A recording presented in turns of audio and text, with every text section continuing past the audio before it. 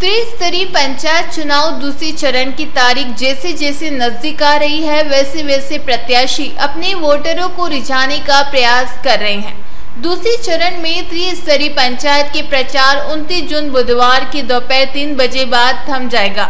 चुनावी प्रचार थमने से पहले आखिरी दिन प्रत्याशियों ने जमकर प्रचार किया। नारगढ़ ग्राम पंचायत में चुनावी प्रचार जोरों पर है।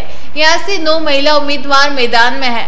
इस क्रम में महिला उम्मीदवार श्रीमती राधा महेश माली ने भी नगर में तगड़ा जनसंपर्क किया। जनसंपर्क के दौरान अपार समर्थन मिल रहा है। मतदाता दिल खोलकर श्रीमती राधा महेश माली को भावी सरपंच के लिए आशीर्वाद दे रहे हैं।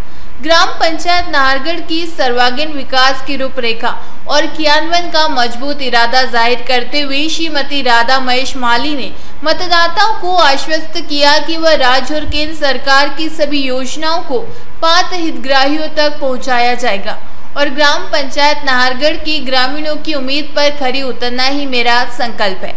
वहीं जनपद सदस्य रहकर महेश माली ने गाँव में जो विकास करवाया है, उसका भी सीधा फ़ायदा उनकी धर्मपत्नी श्रीमती राधा महेश माली को मिल सकता है।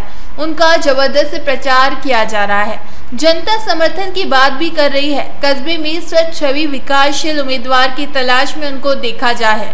अब यह देखना है कि एक जुलाई को जनता मतदान कर अपना आशीर्वाद किसे प्रदान करती है। प्रणाम।